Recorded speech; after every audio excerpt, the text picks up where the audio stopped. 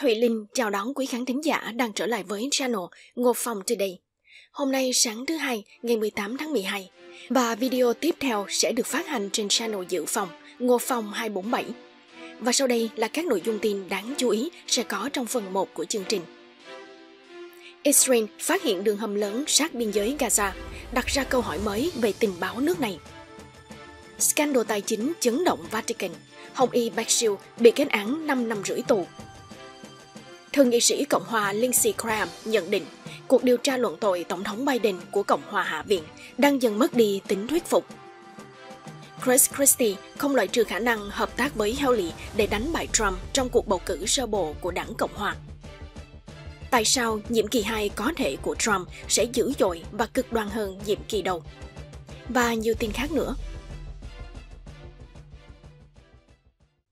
Kính thưa quý vị, quân đội Israel cho biết hôm Chủ nhật, họ đã phát hiện một đường hầm lớn tại Gaza, nằm gần khu vực từng là cửa ngõ đông đúc vào Israel, làm dấy lên những câu hỏi mới về việc tại sao hệ thống giám sát của Israel lại không phát hiện được những chuẩn bị như vậy của Hamas cho cuộc tấn công chết người vào ngày 7 tháng 10. Lối vào đường hầm chỉ cách điểm kiểm soát Erez được gia cố nghiêm ngặt và một căn cứ quân sự của Israel gần đó vài trăm mét. Theo quân đội Israel, đường hầm này dài hơn 4 km, kết nối với một mạng lưới đường hầm rộng lớn trải khắp Gaza và đủ rộng để xe hơi có thể đi qua. Và đường hầm này đã giúp việc di chuyển xe cộ, hành quân và võ khí chuẩn bị cho cuộc tấn công khủng bố vừa qua.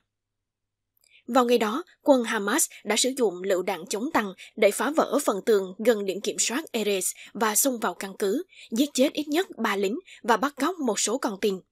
Đây là một trong nhiều địa điểm dọc theo bức tường biên giới, nơi các quân Hamas dễ dàng xuyên qua các hệ thống phòng thủ của Israel, xâm nhập lãnh thổ, giết chết khoảng 1.200 người và bắt giữ khoảng 240 người khác làm con tin. Quân đội và cơ quan tình báo Israel đang phải đối mặt với chỉ trích nặng nề vì không phát hiện được cuộc tấn công trước khi nó xảy ra. Thiếu tá Nir Dainar, người phát ngôn quân đội Israel, cho biết Hệ thống an ninh của họ không biết về đường hầm trước ngày 7 tháng 10 vì hệ thống phòng thủ biên giới chỉ phát hiện những đường hầm nhằm vào Israel. Ông Dinar nói rằng đường hầm này không vượt qua biên giới từ Gaza sang Israel và chỉ dừng lại cách biên giới 400 mét. Lối vào đường hầm, một cửa tròn bằng xi măng dẫn vào một hành lang rộng lớn, được che giấu cẩn thận, tránh khỏi tầm nhìn của máy bay không người lái và hình ảnh vệ tinh của Israel. Mặc dù quân đội biết Hamas có một mạng lưới đường hầm rộng lớn, nhưng theo ông Dinar thì họ không nghĩ là quân Hamas có thể thực hiện một kế hoạch tấn công quy mô lớn. Ông này cũng bày tỏ sự ngạc nhiên trước sự thành công và kích thước của đường hầm, nhận định rằng đây đã là chiến lược của Hamas từ lâu. Điểm kiểm soát Erez, một cơ sở kiên cố xử lý việc di chuyển người Palestine vào Israel cho công việc, chăm sóc y tế và quá cảnh sang Jordan, có giá trị biểu tượng lớn đối với Hamas. Điểm kiểm soát lớn này được bảo vệ bằng camera an ninh và tuần tra quân sự, cùng với căn cứ quân sự liên kề. Erez đã hứng chịu thiệt hại nặng nề vào ngày 7 tháng 10 và chưa được mở lại. Thiếu tướng Daniel Hagari, người phát ngôn quân đội, cho biết Đến thời điểm này, đây là đường hầm lớn nhất ở Gaza.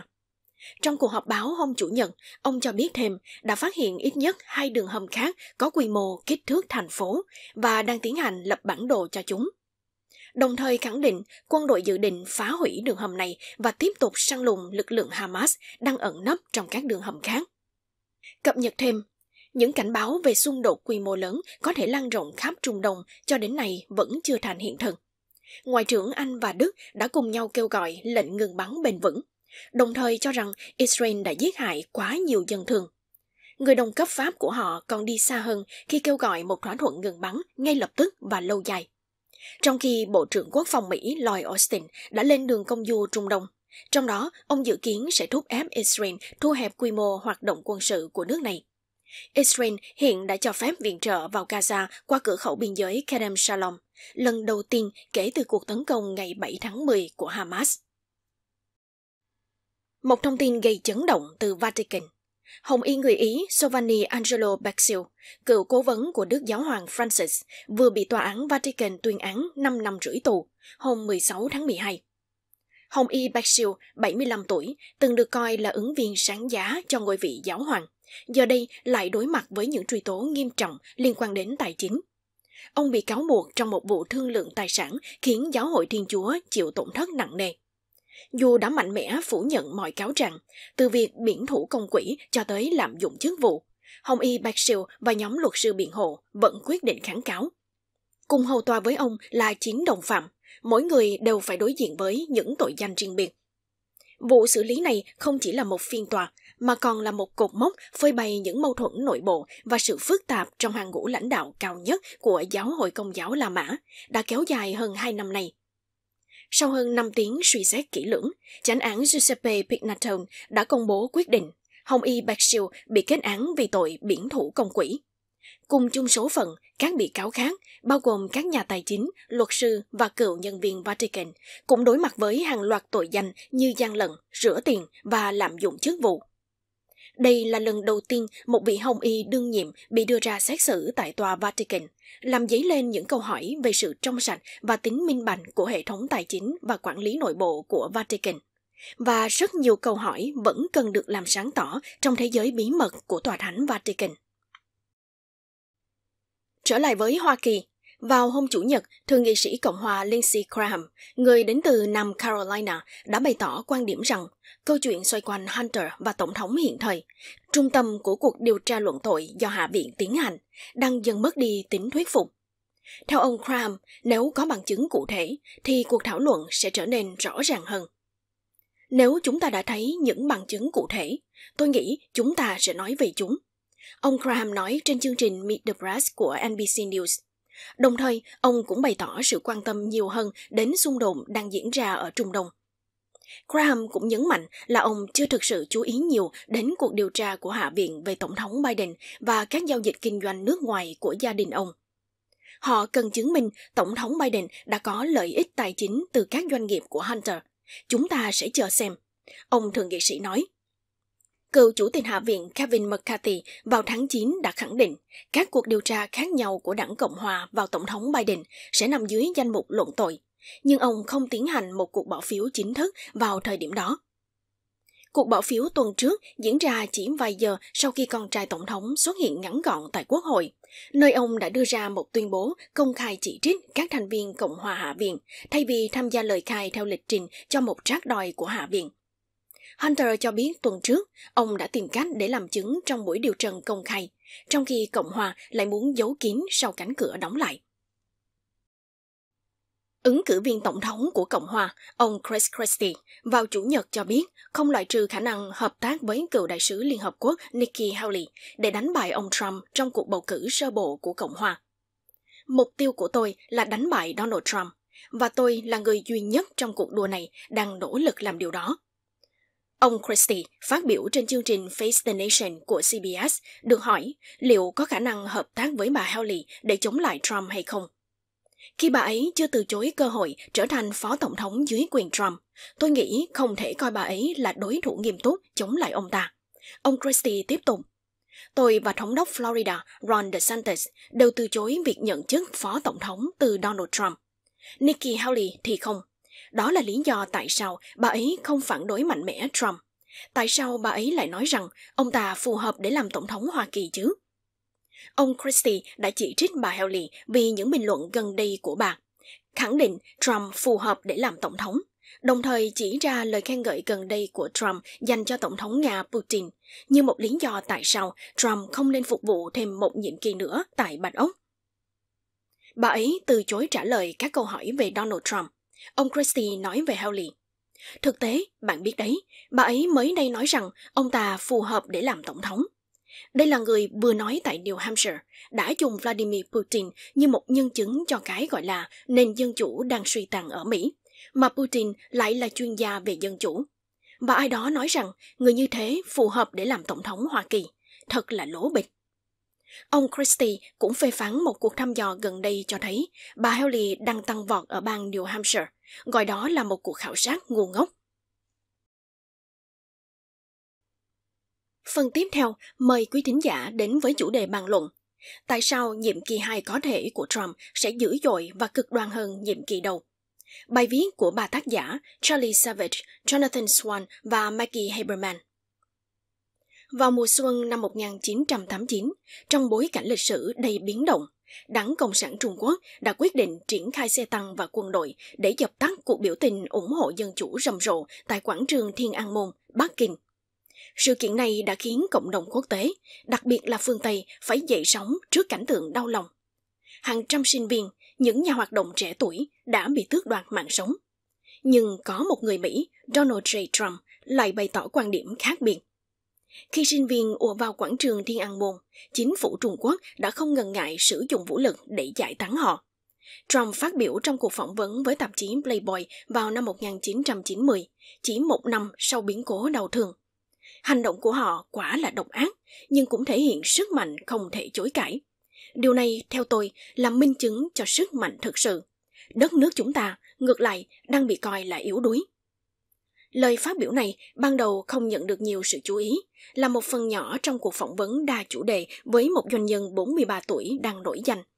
Khi đó, Trump vẫn chưa tham gia vào chính trường hay các vấn đề toàn cầu. Nhưng nhìn lại, đây dường như là một dấu hiệu sớm của quan điểm chính trị sau này của ông. Trong chiến dịch tranh cử tổng thống 2024, Trump đã không ngần ngại bày tỏ quan điểm bạo lực và độc đoán người ta bắt đầu cảnh báo về sự tương đồng giữa ông và các nhà độc tài trong lịch sử, hay những lãnh đạo dân túy cứng rắn thời đại mới. Gần đây, Trump còn gọi đối thủ là lũ sâu bò cần phải nhổ tận gốc, tuyên bố rằng người nhập cư đang làm ô nhiễm máu của đất nước, và thậm chí kêu gọi hành quyết những kẻ trộm cắp vặt và cựu chủ tịch hội đồng tham mưu trưởng liên quân Mike Milley vì tội phản quốc. Đứng trước bốn cáo buộc hình sự trong lần tái tranh cử, Trump dường như trở nên tức giận và tuyệt vọng hơn, đặt ra mối đe dọa lớn hơn cho nền dân chủ Mỹ so với nhiệm kỳ đầu tiên. Nhưng thực chất, vấn đề này đã bắt đầu từ lâu. Trump đã không ngừng ca ngợi bạo lực chính trị và tôn vinh các nhà độc tài suốt hàng chục năm qua. Là ứng viên tổng thống vào tháng 7 năm 2016, ông từng khen ngợi Saddam Hussein, nhà độc tài Iraq, vì khả năng tiêu diệt khủng bố chỉ vài tháng sau khi lên nắm quyền, Trump đã ca ngợi chiến dịch tàn bạo chống ma túy của Tổng thống Philippines Rodrigo Duterte, gọi đó là công việc xuất sắc. Và 4 năm tại phòng bầu dục, Trump đã không ít lần vượt qua giới hạn, phá vỡ những chuẩn mực dân chủ.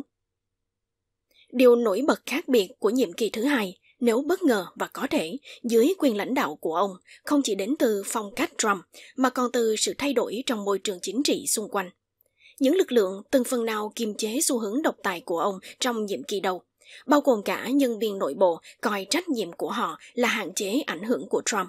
Một số nhà lập pháp Cộng hòa dám lên tiếng phản đối, và tối cao pháp viện có sự cân bằng giữa lưỡng đảng, nay đã trở nên yếu thế hơn. Do đó, các kế hoạch và chính sách cực đoan hơn mà Trump và cố vấn của ông đang ấm ủ cho nhiệm kỳ thứ hai có khả năng sẽ được hiện thực hóa. Thực tế, một số kế hoạch của Trump có thể được coi là phản ứng tiêu chuẩn của bất kỳ tổng thống Cộng hòa nào. Chẳng hạn, ông có thể sẽ hủy bỏ nhiều chính sách của chính quyền Biden liên quan đến việc giảm khí thải carbon và thúc đẩy sử dụng xe điện. Động thái này sẽ làm suy giảm nỗ lực bảo vệ môi trường, nhưng lại phản ánh quan điểm truyền thống hoài nghi của phe bảo thủ với các quy định về môi trường.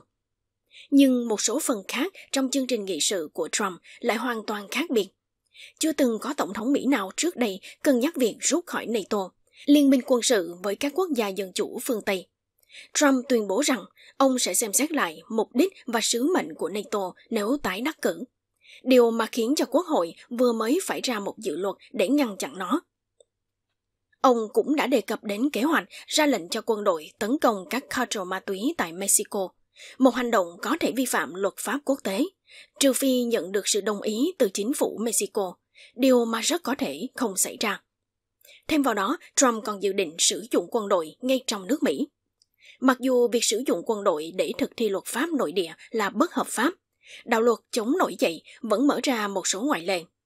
Khi các cuộc biểu tình phản đối bạo lực cảnh sát năm 2020 biến thành bạo loạn, Trump đã soạn thảo một sắc lệnh cho phép sử dụng quân đội để dập loạn ở Washington DC nhưng sau đó không ký ban hành. Gần đây, tại một cuộc biểu tình ở Iowa, ông đã ám chỉ rằng trong nhiệm kỳ thứ hai, ông sẽ không ngần ngại triển khai quân đội đến các thành phố do đảng Dân Chủ kiểm soát để duy trì trật tự công cộng. Hãy nhìn vào các bang do đảng Dân Chủ cai quản. Chúng đều đã thay đổi đáng kể, không còn hoạt động hiệu quả. Trump phát biểu trước đám đông, chỉ trích các thành phố lớn như New York, Chicago, Los Angeles và San Francisco là các điểm nóng tội phạm. Chúng ta không thể để tình trạng này tiếp diễn. Đó sẽ là một trong những hành động mà tôi sẽ thực hiện. Mặc dù người ta thường cho rằng Tổng thống không nên can thiệp vào các vấn đề như vậy, rằng phải chờ yêu cầu từ thống đốc hoặc thị trưởng. Nhưng lần tới, tôi sẽ không đợi nữa.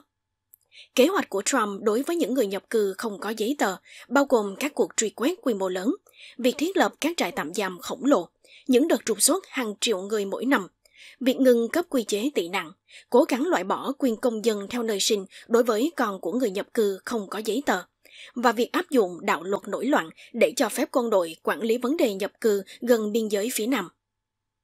Trump cũng lên kế hoạch mở rộng quyền lực tổng thống bằng nhiều cách khác nhau. Từ việc tập trung quyền lực lớn hơn vào nhánh hành pháp trong Nhà Trắng, chấm dứt sự độc lập của các cơ quan do Quốc hội thành lập để hoạt động ngoài tầm kiểm soát của Tổng thống, cho đến việc giảm bớt các biện pháp bảo vệ công chức nhằm dễ dàng sa thải và thay thế hàng chục nghìn nhân viên chính phủ. Đặc biệt, cam kết của Trump về việc sử dụng Bộ Tư pháp để trả thù đối thủ chính trị của mình là một thách thức không giấu giếm đối với các nguyên tắc dân chủ. Trong thời gian còn tại vị, ông đã cố gắng thuyết phục các công tố viên điều tra những kẻ thù cá nhân. Và cam kết này của Trump sẽ phá vỡ chuẩn mực hậu Watergate về điều tra độc lập, không bị ảnh hưởng bởi chính trị từ Nhà Trắng. Trong tất cả những nỗ lực này, Trump sẽ nhận được sự hỗ trợ mạnh mẽ trong nhiệm kỳ thứ hai nhờ vào một hệ thống tư vấn được tài trợ dồi dào. Năm 2016, nhiều viện nghiên cứu chính sách bảo thủ vẫn giữ vững lập trường của chủ nghĩa Cộng hòa kiểu George W. Bush. Tuy nhiên, các tổ chức mới do các thành viên kỳ cựu trong chính quyền Trump điều hành đã nổi lên. Và quỹ di sản Heritage Foundation nổi tiếng đã nhanh chóng điều chỉnh để phù hợp với chủ nghĩa Trump. Một liên minh đang soạn thảo các kế hoạch chính sách kiểu nước Mỹ trên hết, được đặc biệt danh là dự án 2025. Chiến dịch Trump đánh giá cao nỗ lực này, mặc dù họ cũng nhấn mạnh rằng chỉ những kế hoạch do Trump hoặc chiến dịch của ông công bố mới được coi là chính thức. Một số đề xuất trong dự án 2025 nhằm thúc đẩy các mục tiêu lâu dài của các nhà tài trợ hàng đầu Cộng hòa, như việc hạn chế quy định đối với doanh nghiệp, nhưng cũng có những đề xuất khác phản ánh lợi ích cá nhân của Trump. Ví dụ điển hình, Trung tâm đổi mới nước Mỹ đã công bố một bài báo với tựa đề Bộ Tư pháp không độc lập do Jeffrey Clark, người suýt được Trump bổ nhiệm làm quyền tổng trưởng lý để hỗ trợ việc lật đổ bầu cử 2020 là tác giả. Hiện tại, Clark đang phải đối mặt với cáo buộc hình sự ở Georgia liên quan đến những nỗ lực đó. Khi được yêu cầu bình luận, phát ngôn viên của Trump không đưa ra câu trả lời cụ thể mà chỉ chỉ trích tờ New York Times đồng thời tuyên bố Trump luôn cứng rắn với tội phạm. Kể từ khi tham gia tranh cử vào năm 2016, Trump đã thể hiện sự coi thường các chuẩn mực dân chủ. Ông cáo buộc gian lận trong thất bại tại Iowa trong kỳ bầu cử sơ bộ và gợi ý rằng ông chỉ công nhận kết quả của cuộc tổng tuyển cử nếu ông chiến thắng. Ông đe dọa bỏ tù Hillary Clinton, bôi nhọ người nhập cư từ Mexico và hứa hẹn cấm người Hồi giáo nhập cảnh vào Mỹ. Ông còn đề xuất trả chi phí pháp lý cho những người ủng hộ tấn công người biểu tình tại các cuộc meeting của ông và liên tục kích động lòng căm thù đối với giới báo chí. Trong thời gian còn đương chức, Trump từ chối thoái vốn khỏi các doanh nghiệp của ông và nhiều người đã cố gắng lấy lòng ông bằng cách đặt phòng tại các khách sạn sang trọng của ông. Ông đã bỏ qua các quy định chống gia đình trị bằng cách giao công việc quan trọng tại tòa Bạch Ốc cho con gái và con rể. Ông cũng sử dụng quyền lực khẩn cấp của Tổng thống để chi tiêu nhiều hơn cho bức tường biên giới so với mức mà Quốc hội phê chuẩn. Các luật sư của ông đã xin ân xá cho người đứng đầu chiến dịch tranh cử của ông, người được Trump khen ngợi vì đã không phản bội khi các công tố viên cố gắng thuyết phục ông hợp tác với tư cách nhân chứng trong cuộc điều tra về Nga, nhưng không thành công. Sau cùng, Trump đã ân xá cho người này. Thật may, một số hành vi vi phạm chuẩn mực nghiêm trọng nhất của ông đã bị ngăn cản. Trump đã gây áp lực buộc Bộ Tư pháp phải truy tố các đối thủ của mình. Bộ Tư pháp đã mở một số cuộc điều tra hình sự, từ việc giám sát cựu Ngoại trưởng John Kerry và cựu Giám đốc FBI James Comey, cho đến nỗ lực của công tố đặc biệt John Durham nhằm tìm cơ sở để buộc tội các quan chức an ninh quốc gia thời Obama hay buộc tội Hillary Clinton với tội danh liên quan đến nguồn gốc cuộc điều tra Nga. Nhưng sau cùng, các công tố viên lại quyết định không đưa ra cáo buộc, và điều đó đã làm Trump nổi giận. Trump cũng không thành công trong hai nỗ lực mà vì chúng ông đã bị luận tội. Ông từng cố ép Ukraine mở một cuộc điều tra hình sự đối với Biden bằng cách từ chối viện trợ quân sự, nhưng Ukraine không hợp tác. Ông cũng tìm cách lật ngược thất bại trong cuộc bầu cử năm 2020 và gây ra một cuộc bạo loạn ở Điện Capitol. Nhưng Phó Tổng thống Mike Pence và đa số trong Quốc hội đã bác bỏ nỗ lực duy trì quyền lực của ông. Có lý do để tin rằng nhiều trở ngại và rào cản đã hạn chế Trump trong nhiệm kỳ đầu tiên sẽ không còn trong nhiệm kỳ hai. Một số mục tiêu mà Trump cố gắng thực hiện đã bị cản trở bởi chính sự kém cỏi và hỗn loạn trong chính quyền ban đầu của ông. Nhưng sau 4 năm, những người ở lại với ông đã học được cách sử dụng quyền lực hiệu quả hơn. Chẳng hạn, sau khi các tòa án chặn lệnh cấm nhập cảnh được soạn thảo một cách cẩu thả của ông, đội ngũ của Trump đã phát triển một phiên bản mà tối cao pháp viện cho phép có hiệu lực. Bốn năm đương nhiệm của Trump đã tạo ra một tối cao pháp viện có đa số theo Cộng hòa. Những người giờ đây có lẽ sẽ đứng về phía ông trong một số vụ kiện mà ông đã thua. Chẳng hạn như phán quyết với tỷ lệ 5-4 vào tháng 6 năm 2020, vốn đã ngăn cản ông kết thúc một chương trình cấm trục xuất những người không có giấy tờ hợp lệ đã đến Mỹ khi còn nhỏ và lớn lên như người Mỹ. Hầu hết các nhà lập pháp Cộng hòa trong Quốc hội thường là đồng minh và là những người hỗ trợ Trump, bắt tay với ông để bổ nhiệm các thẩm phán tối cao và các giảm thuế doanh nghiệp, nhưng lại hiếm khi giám sát Tổng thống. Một phần nhỏ một số nhà lập pháp chủ chốt của Cộng hòa vẫn thỉnh thoảng lên án những luận điệu của Trump hoặc phản biện những đề xuất cực đoan của ông. Năm 2017, Thượng nghị sĩ Bob Corker đã chỉ trích Trump vì đã đe dọa bắt hàng một cách liều lĩnh trên Twitter – trong khi Thượng nghị sĩ John McCain đã bỏ lá phiếu mang tính quyết định để ngăn Trump hủy bỏ một đạo luật về phổ biến bảo hiểm y tế, mà không có kế hoạch thay thế nào. Nhiều khả năng các đảng viên Cộng hòa tại Quốc hội sẽ nghe lời Trump hơn nếu Trump đắc cử nhiệm kỳ 2. Đảng này đã trở nên thích nghi hơn với Trump và thậm chí nhiệt tình ủng hộ việc Trump sẵn sàng vượt giới hạn. Và Trump đã làm suy yếu hoặc đe dọa buộc phải phục tùng hoặc trừng phạt nhiều nhà lập pháp hàng đầu của Cộng hòa, những người có lập trường độc lập và đôi khi sẵn sàng thể hiện thái độ chống đối. Nỗi lo về bạo lực từ những người sùng bái Trump cũng giúp Trump siết chặt kiểm soát. Trong những cuốn sách gần đây, cả Romney và Shani đều nói rằng một số đồng nghiệp Cộng hòa, những người được giấu tên, cho biết họ muốn bỏ phiếu chống lại Trump trong tiến trình luận tội liên quan đến sự kiện J6, nhưng không làm vậy vì lo cho sự an toàn của chính bản thân và gia đình họ. Có lẽ đối trọng quan trọng nhất trong nhiệm kỳ tổng thống của Trump là sự phản kháng từ nội bộ chính quyền đối với một số yêu cầu cực đoan của ông. Từ đó đến nay, một loạt quan chức cấp cao trong chính quyền của ông đã cảnh báo rằng Trump không thích hợp để làm tổng thống, bao gồm cả cựu chánh văn phòng Bạch Ốc John Kelly, cựu Bộ trưởng Quốc phòng Jim Mattis và Mike Esper, cựu Cố vấn an ninh quốc gia John Bolton, cựu Tổng trưởng lý William Barr và nhiều người khác. Lẽ dĩ nhiên với phiên bản mặc định Trump, ông chỉ trích tất cả những người này là yếu đuối, ngốc nghếch và không trung thành. Ông từng chia sẻ một cách riêng tư với vệ tinh thân cận rằng sai lầm lớn nhất của ông liên quan đến những người ông bổ nhiệm, cụ thể là lựa chọn của ông cho chức tổng trưởng lý. Các cố vấn đang gắn bó với ông đều tự tin là nếu ông thắng cử một nhiệm kỳ mới, sẽ không còn quan chức nào cố tình cản trở chương trình nghị sự của ông. Ngoài việc phát triển các tài liệu chính sách, Liên minh các viện chính sách do những người có liên hệ với Trump điều hành đã xây dựng một cơ sở dữ liệu gồm hàng nghìn tân binh tiềm năng đã vượt qua vòng kiểm duyệt để giao cho một nhóm chuyển tiếp nếu Trump thắng cử. Những nỗ lực tương tự đang được các cựu quan chức cấp cao của chính quyền Trump tiến hành nhằm chuẩn bị cung cấp cho chính phủ những luật sư có thể tìm ra cách ủng hộ những ý tưởng cấp tiến của Nhà Trắng, thay vì cản trở chúng về mặt pháp lý. Những nỗ lực nhân sự như vậy xuất phát từ một thay đổi năm cuối cùng của Trump trên cương vị tổng thống.